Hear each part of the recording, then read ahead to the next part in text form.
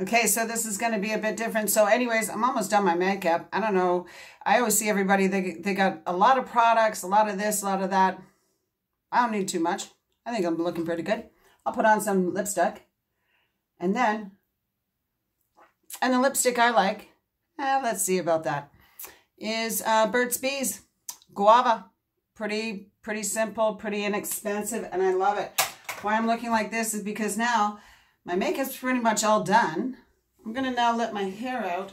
People have asked me, is this my hair? Yes, this is my hair. And now we're to, now we're to comb it out.